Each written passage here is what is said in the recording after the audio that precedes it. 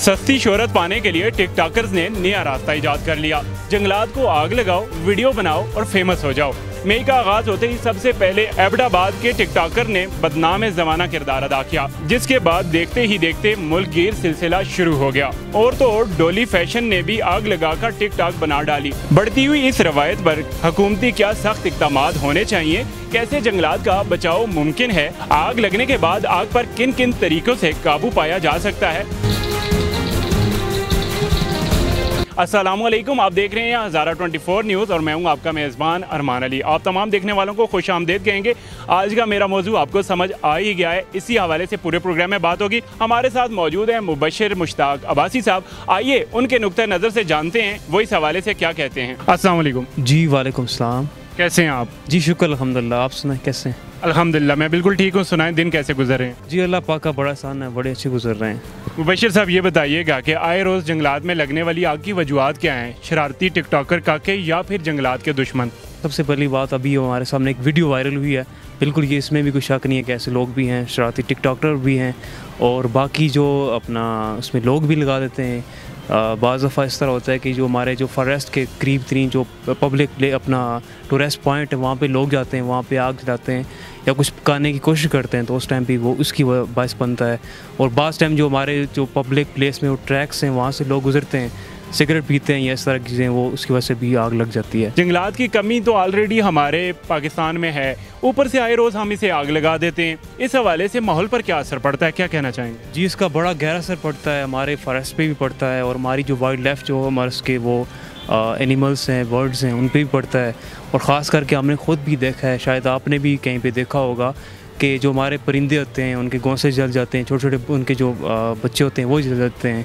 उसके बाद फॉरेस्ट के साथ जो हमारे छोटे छोटे प्लांट्स होते हैं, वो भी जल कर खाकस्तर हो जाते हैं। तो इसमें हमारी शायद डिपार्टमेंट्स की भी नायली है। उस तरह के वहाँ पे वो उन्होंने अपने कैंप वगैरह या टीम मैनेजमेंट नहीं की हुई है। ख़ास करके ये जो मौसम होता है, जिनमें आग लगने का ज़्यादा खर्चा होता है तो उसमें इनको चाहिए कि अपनी टीम्स को वहाँ पे कैंप होने चाहिए ताकि इस तरह के नगामी सूरत में वो इसको आग को काबू कर सके। बेशतर हमारे पहाड़ी इलाकों तक फायर ब्रिगेड नहीं पहुँच सकती या उसका पहुँचना नामुमकिन है। ऐसे इलाकों में महकमे को क्या इकदाम करने चाहिए? जी बिल्कुल इसके लिए प्रॉपर टीम होनी चाहिए और चूँकि फायर ब्रिगेड वहाँ पे तो पॉसिबल नहीं जंगलात हमारा पहाड़ी इलाका है और पानी का भी नहीं हो इसके लिए ये होता है कि जो जहाँ पे आग लगी हो उसके कुछ फीट पे अपने एक गोल दायरा से लगा लें। वहाँ पे तकरीबन तीन, चार फीट तक वहाँ से जो खाक पर अपने घास फूस पड़ी होती है, उसको हटा के सिर्फ़ ज़मीन रह जाए। तो वो उस तरह भी इसको आग को कवर किया जाता है। सबसे पहली और पुरानी जो टेक्निक उसको फॉलो किया जाता है क्योंकि वहाँ पे स्प्रे या इस तरह के एकदम से वो सडनली पॉसिबल नहीं है। सस्ते टिकटॉकर्स जो कि अपनी थर्ड क्लास वीडियोस बनाने के लिए जंगलात में आग लगा देते हैं या फिर जो नासूर हैं हमारे इस माशरे का जो जंगलात को बिला वजह जला देते हैं उनके लिए क्या सख्त से सख्त सज़ा होनी चाहिए आपके पॉइंट ऑफ़ व्यू से? जी बिल्कुल बड़ी अच्छी बात की और बहुत सबसे हमारा जो लास्ट में कंक्लूजन यही है क्योंकि अभी देखें, सस्ती शहरत की पीछे उन्होंने, हमारा जो मुस्तबिल है, जो कि हमारी सांस समझ कर, समझते हैं, उनको उन्होंने तबाह कर दिया है। इसमें वाइल्ड लाइफ के भी एक्ट मौजूद हैं इन्वामेंट के भी एक्ट मौजूद हैं, और अपने यूपी नेशनल पार्क के भी हैं, वहाँ पर आग नहीं जला सकते, और भी काफ़ी सारी इंस्ट्रक्शंस भी दी हुई हैं। तो इनके ख़िलाफ़ बाकायदा से रूल बने हुए अभी मुझे तो ये क्लियर नहीं है कि उसके क्या कहें, लेकिन ये मुझे ज़रूर पता है उसके बाकायदा से उनके पे पनिशमेंट भी होती है, सज़ा भी होती है, और इस पर कुछ उन्होंने जुर्माना भी रखा हुआ है। ये मुझे नहीं पता अभी क्या है, क्योंकि ये ब्रिटिश टाइम से बना हुआ है, इसमें मजीद को एक्सटेंड करना चाहिए। आग तो जंगल में लग गई, लेकिन इस पर काबू कैसे पाया जा सकता है? देखें, जंगलात में अगर आग आग लग जाए तो एकदम से टीम भी नहीं आती। और सबसे पहले मैंने अपनी स्टार्ट में भी ये बात की कि वहाँ पे जो, जहाँ पे ये एक सीज़न होता है, उसमें आग लगती है, जिस तरह खुश्क साली की सीज़न में तो वहाँ पे ये लोग इस तरह करते होते हैं क्योंकि पानी भी नहीं होता, हर जगह पानी नहीं हो तो आप पानी तो उसको बुझा बुझा सकते हैं। इसका तरीकार जहाँ पे आग लगी है तो उसके कुछ दूर में अपने आप को सेफ़ रख के वो जगह क्लियर तकरीबन चार फीट या दो फीट तक आपने वो घास फूस हटा दें गोल सर्कल सा बना लें बीच में वो जगह जल जाएगी बाकी वो बच जाती है। इस तरह वो पुरानी टेक्निक है।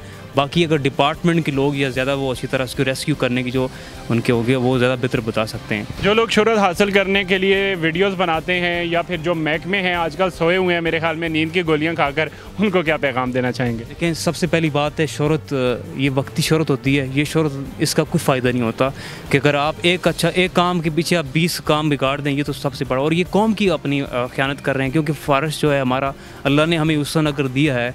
तो हमारी ये सासा है इसको हमें ज़ाया नहीं करना चाहिए, बल्कि इसको प्रोटेक्ट करना चाहिए कि अगर इस तरह लगता रहिए तो हमारे जंगलात बिल्कुल ख़त्म हो जाएँगे, फिर इंसानी ज़िंदगी के लिए कितनी मसाइल बन जाएँगे, फिर हमारी जो कितने इसके अभी तो काफ़ी सा अगर डिबेट करें तो वो कर सकते हैं। मतलब हमारे माहौल को कितना नुकसानदेह, हमारी पोल्यूशन में इजाफा हो रहा है, हमारी मतलब बहुत सारी जो हमारे मसाइल हैं ये उसमें तो होते हैं। तो इसलिए मैं सबको ये मैसेज देना चाहूँगा कि सस्ती शहरत के पीछे अपने ये जो अपने मुल्क को तबाह ना करें, खुदारा और जो भी डिपार्टमेंट को लोग, मैं कहता हूँ कि यही रिस्क के लाल है कि इसको अगर आप ड्यूटी कर रहे हैं, आप किसके पे ले रहे हैं तो इसको काइंडली इसको अपना प्रोटेक्ट भी करें। मुबशर, बहुत शुक्रिया अपनी ओपिनियन हमारे साथ शेयर करने के लिए।